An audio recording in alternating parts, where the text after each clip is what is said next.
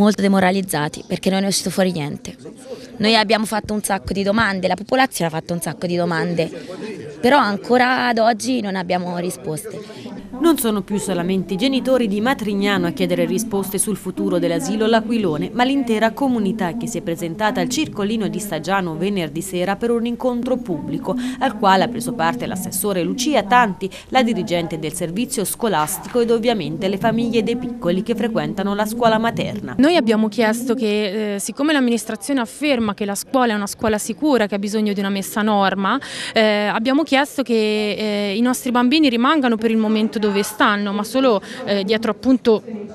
la loro continua rassicurazione che siccome stanno lì fino a giugno possono continuare a starci e abbiamo chiesto soprattutto una promessa che nel prossimo consiglio comunale eh, si impegnino in modo tale che eh, ci siano eh, delle carte, ci siano dei documenti in cui loro eh, ci fanno vedere che hanno una, real una reale volontà di tenere aperta la nostra scuola. La nuova mossa dell'amministrazione presentata alla cittadinanza è quella di accelerare nella direzione di una vera e propria ricostruzione della scuola scuola e non una sua ristrutturazione, proposta avanzata al Ministero dell'Istruzione. Abbiamo valutato attraverso gli uffici delle opere pubbliche la possibilità di chiedere la trasformazione del finanziamento da adeguamento a nuova struttura, quindi l'intenzione è quella di, tra l'altro con delle ottime possibilità, eh, optare per quel medesimo finanziamento non più finalizzato ad un adeguamento perché eh,